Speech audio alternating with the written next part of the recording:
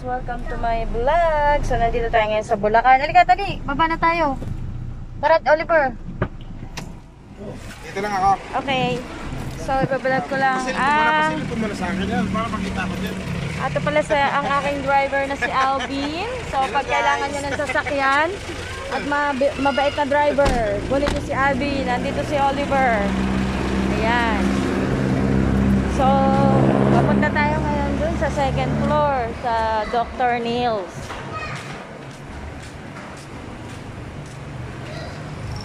Ayan. Akyat tayo dito. So, ang Dr. Nurse is located at Sapang Panay, Bulacan. Along the highway lang siya. Katabi ng kolehiyo, a hotel, Sangarbier Hotel.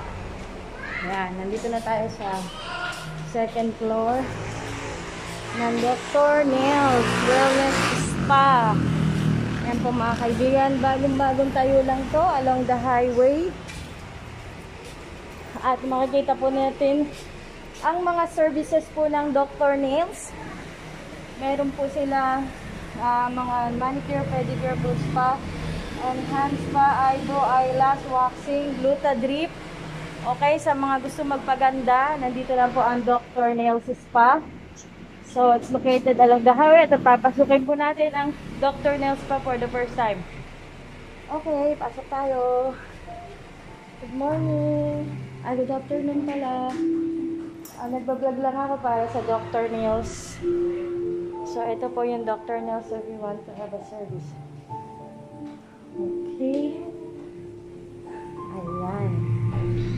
So, guys, dahil may customer sila ngayon, ah hindi tayo pwedeng mag-vlog hanggang doon sa loob. So, anyway, ah just want you to know na merong services na ganitong uh, na magandang service dito sa sa Sapang Palay, Bulacan. Bagong-bago lang. If you want to have a very um, good uh, time for relaxation, ito po. Punta kayo sa Dr. Nails Spa. Okay, thank you for watching guys. Sana nagustuhan niyo yung vlog. Bye!